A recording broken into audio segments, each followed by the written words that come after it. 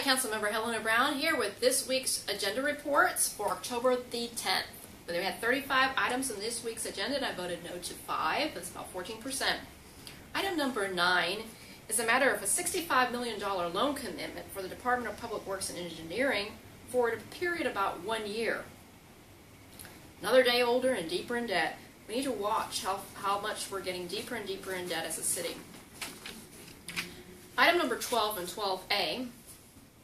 This is a joint project between the city and the county for radio operations. And this is very good and necessary that the city and county be working together and cooperating in these matters.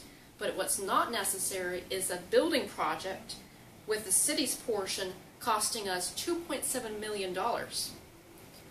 How about using $2.7 million to catch up on the backlog of untested rape kits? We need to prioritize as a city, and there are better uses for this $2.7 million. Item number 14 is $5.4 million for the administration of a special supplemental nutrition program for WIC. Item number 15 is $70,000 for assisting 70 low-income individuals for, with rental assistance.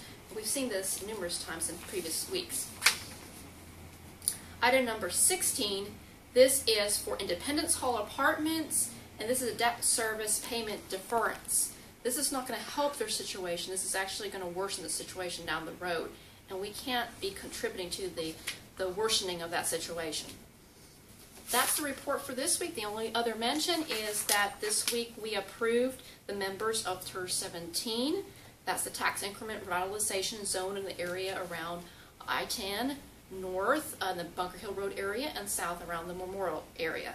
And we have seven individuals appointed and reappointed, three of which are new, David Hamilton, John Rickle, Bob Tucker, and Ann Gibbons was reappointed and put as chair of the TIRZ 17. So congratulations to each of, of those reappointments and new appointments. And that's the report for this week. See you next week.